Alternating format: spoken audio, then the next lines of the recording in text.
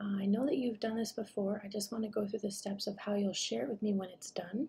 So in Google Classroom, you have this word art link here. I do have a video reviewing about Easter. Um, I'm hoping it'll inspire some of your words. You're also welcome to look at the Easter pages in your uh, workbook as well as reflect back on our Holy Week um, Google Slides. All of that will have some good um, inspiration for you for this project. So the link here um, will take you to the Word Art uh, website and you're going to click Create Now. I've already gone ahead and started. Um, you're going to adjust what words you would like. Um, you can change the color, the angle, the font. You can change the shape. I'd like it to be something reflecting Easter. You may choose whatever um, image you would like. And I do know how to spell cross. That's just all I typed in before it appeared, so just so you know. uh, change whatever font you like. Um, I picked random just so that it fills the image, but you can decide what words you would like um, in which directions.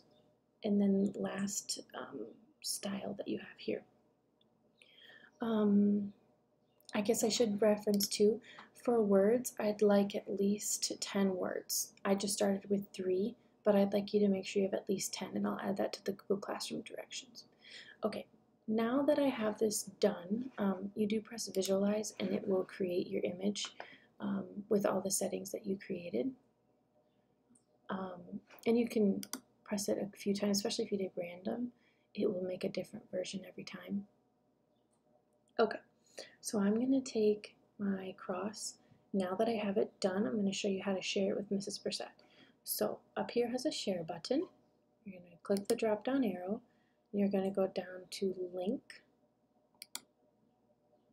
Now, I have this link here, um, and when I click on this link, it will take me to the document that shows my picture. So what I want you to do is click copy to clipboard. Go back to this assignment, and I'll just assign it for now so I can show you how to make a comment. Okay, so now that you have this Easter art assignment, once you have once you have your um, link copied, on your assignment there's the class comment button. You're going to um, do a right click um, and click paste or uh, the control or your control V will paste it onto there. And you're just going to press send and now I can go ahead and click on this and it will take me to the word art that was created. So when we're all done, all of our Easter arts will be here. Feel free to view each other's. Um, but hopefully that will be some clear, easy directions. Let me go through them one more time.